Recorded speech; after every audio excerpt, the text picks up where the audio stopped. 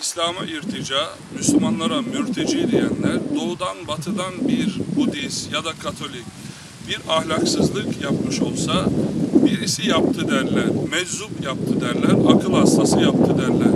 Fakat şu ya da bu şekilde İslam'la ilişkilendirilen birisi bir ahlaksızlık, bir edepsizlik yapsa hemen onu İslam diye, Müslüman diye sahneye çıkarırlar. Aslında 100 yıllık tiyatro bu. Bu değişmedi. Bunu yapanlar değişmeyecekler. Müslümanlar ne yapacaklar bu noktada? Kardeşlerim, tasavvuf Allah Resulü sallallahu aleyhi ve sellemin yürekleri temizleme yoludur. Efendimiz sallallahu aleyhi ve sellem hem Kur'an-ı Hakim'i anlattı, sünnetiyle onu hayata tatbik etti.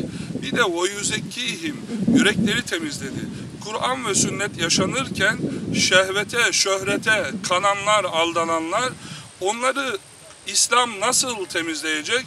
Efendimiz sallallahu aleyhi ve sellem tezkiyeyle bunu yaptı, bunu ifade etti.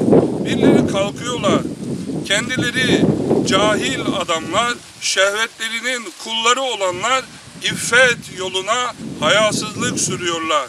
Peki bu yolu nasıl koruyacak Müslümanlar? Osmanlı zamanında meclisi meşayih vardı.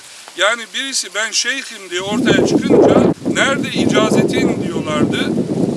Şimdi icazetli alimler bir araya gelmeli. Bir meclis kurmalı, bakmalı kimin nesebi Resulullah Aleyhisselam'a uzanıyor. Yani manevi nesebi, icazeti var mı bu adamın?